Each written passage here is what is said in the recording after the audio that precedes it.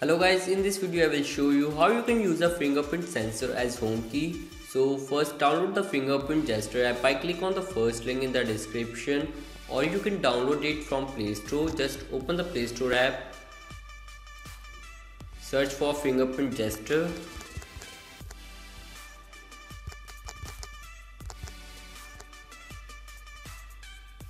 Tap on install button.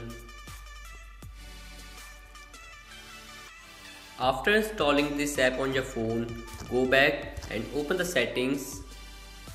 Scroll down and tap on accessibility. Tap on fingerprint gesture and turn on fingerprint gesture app. Now open fingerprint gesture app Click on enable fingerprint gesture button from top right. Tap on single tap option and select home. Now go back. Now you can use your fingerprint sensor as home button key just like this.